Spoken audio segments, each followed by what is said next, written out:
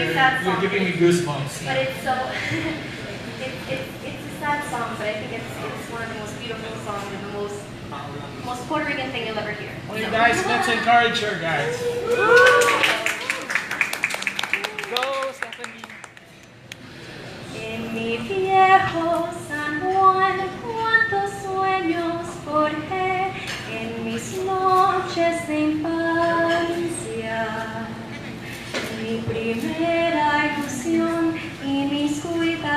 Amor son recuerdos del alma. Una tarde me fui hacia extraña nación, pues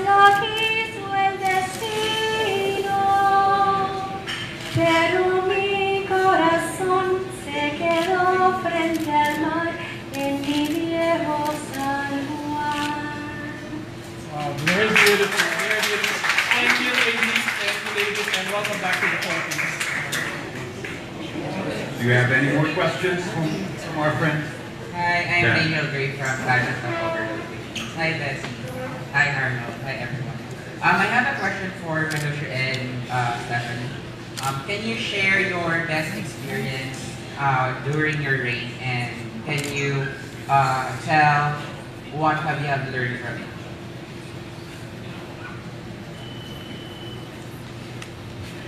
Um, it's very difficult to point out at one experience because I've had so many best experiences. Because every time I go to a country, I tell myself, oh my god, this is the best experience ever. but uh, what I'm really happy is that this year we could travel to so many countries, we could travel to every continent, and I got to see so many different kinds of people across the world.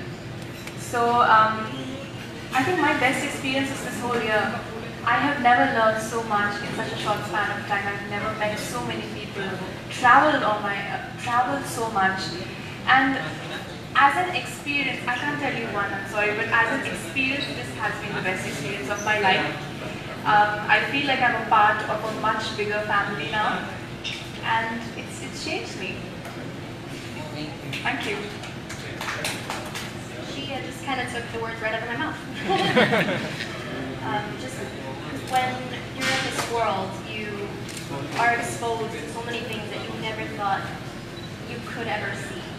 Um, just like what I experienced here in and and and so many other things. And I think one of the, my most favorite things uh, that I've been able to live has been sharing this year with Manushi, and especially the part we with the continental winners, because as you'll be able to see in the documentary and be able to completely understand the work that we do, we travel to every single continent and work with the local Miss World organization and change the lives of all these people. And honestly, I can't wait for you guys to see the, the series because like I said, you will finally be able to fully understand the work that Miss World and Beauty with a Purpose does, what the year in the life of Miss World is. And you'll be able to agree with us that it's really, really difficult to, to pick what has been the most favorite and the most uh, impactful. So yeah. But um, I'd like to add something that uh, what the world usually sees is one day in the entire year when you see the pageant, but the other 364 days is what actually Miss World is about. Thank you. Any more final questions? Yes. Conan uh, Conan.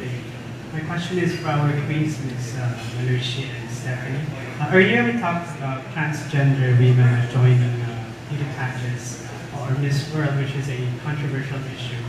Uh, my question is, when answering uh, controversial questions like this, be it in Q&A portions or media interviews, is it better to give a safe answer that makes the majority happy or just be honest about it, even if that means offending some?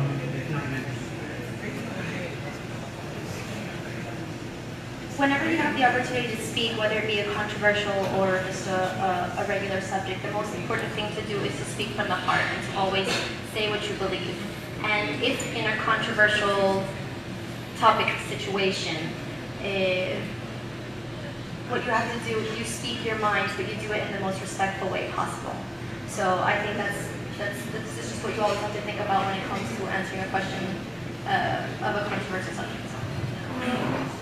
Um, I feel that when you answer a question, what is most important is honesty. You have to be honest with people, and people will understand.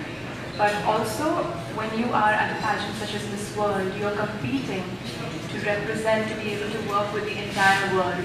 You cannot exclude a community. You, should, you have to make everyone feel like they are included and they are part of the family.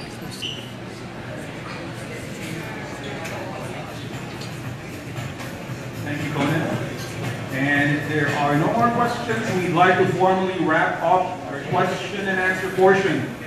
Now, may we ask our special guests to please stand up so we can take some posterity shots. Sorry.